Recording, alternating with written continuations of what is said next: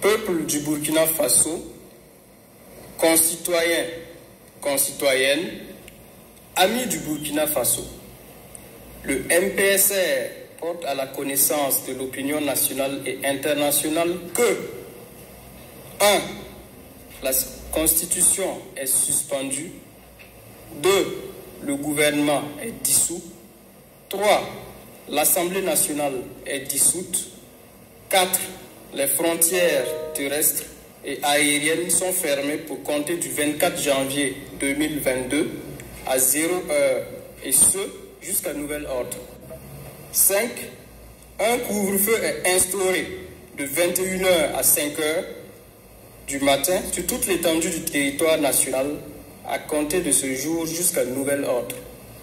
Ouagadougou, le 24 janvier 2022, signé lieutenant-colonel Paul-Henri Sandaogo Damiba, président du mouvement patriotique pour la sauvegarde et la restauration MPSR.